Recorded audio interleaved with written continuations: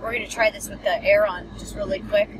So uh, this is Kelly Orchard with Mustang Monday. I'm in the car with my dad, and it is so hot that we have to run the air. Or we're gonna like literally melt. So the beginning of summer. It must be 80 degrees here yeah. And uh, it must cost you a lot just drive up here. Well, you know, here's here's here's the thing. It's like I'm driving this Mustang looking for certified badasses, and I cannot imagine anybody more badass than my dad. And so it was worth it to me to drive up here. And I remember when we came to Los came to Victorville, uh, we ran across a couple of the Elvis impersonators. right, And one of them was pretty good. yeah, and uh, he would go to different remotes that we had.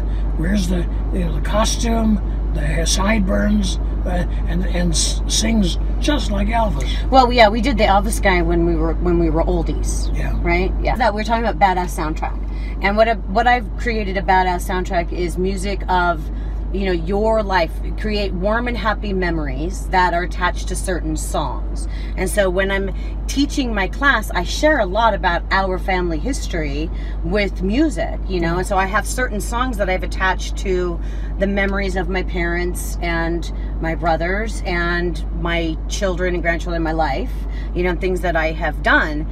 And you just brought up Elvis, so Elvis does remind me of you. Oh, So for me to hear any song from Elvis, you know, I would go, it, uh, you're like Elvis and Johnny Cash, no. right? Okay. Okay, so I would, that's how, the songs that I relate to you is Elvis and Johnny Cash.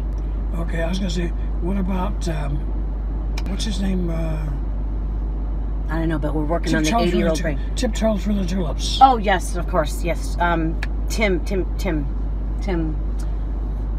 You, ah. for- you forgot too. I forgot too. How can Tiny you- Tim. It's Tiny Tim. Tiny Tim. Tiny Tim. You like Tiny? But Tiny Tim was silly. you was- just have a story about Tiny Tim, and you keep wanting to tell this, and it's like I'm gonna tell you guys right now. It's like if you really want to hear Dad's story about Tiny Tim, you got to go look at the Radio is Badass videos that I've done with my dad because we've already talked about Tiny Tim. Oh, Tim. okay. All right, those videos are still up there. we don't- we don't need to talk about that. But I relate you with But you Johnny get- Cash and Elvis Presley. But you get an extra point if you go look at up. you get an extra, you get extra points. You don't get any points for this. All right, this is Kelly Orchard. This is Mustang Monday, and this is my dad, Ken Orchard, reminding you to say it with me: be bold, Be- be brave, and be be confident, and be a badass. be a badass. Thanks, Dad.